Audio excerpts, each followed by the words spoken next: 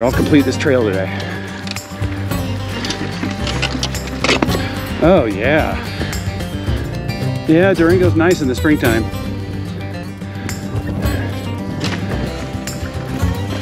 Yeah.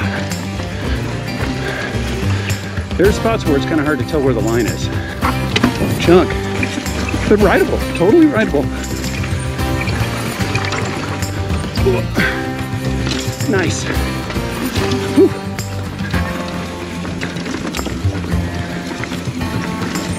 I'm pushing 8,000 feet here.